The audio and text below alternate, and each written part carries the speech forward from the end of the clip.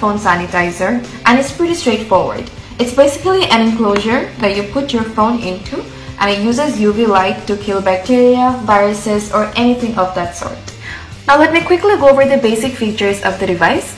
The enclosure has two ultraviolet lamps, one at the top and one at the bottom to cover both the sides of the phone simultaneously during the process. The ultraviolet lamps won't heat up your phone so you don't have to be worried about your phone getting damaged during the process. For power, it uses a micro USB input.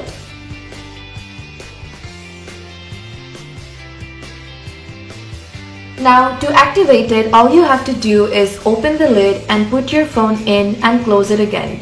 And as soon as the lid closes, it automatically turns on the UV light inside and you know it's working because of the indicator light on the side will be glowing red.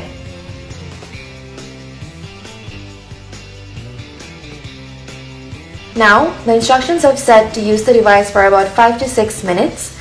After usage, you're going to open the lid, take your phone out, and make sure to take off the adapter from the USB micro input so that the device is completely turned off.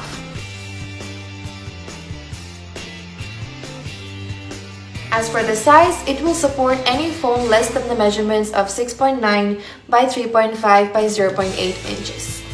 And that is how we use the smartphone sanitizer.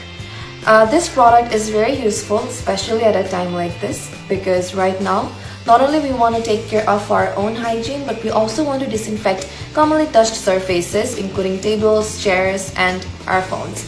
And the best part about using this device is that it's not only just for smartphones, you can use anything inside as long as it fits, including accessories, jewelries, watches. I hope this review was informative and helpful enough for you to understand the features of such a useful product like the smartphone sanitizer.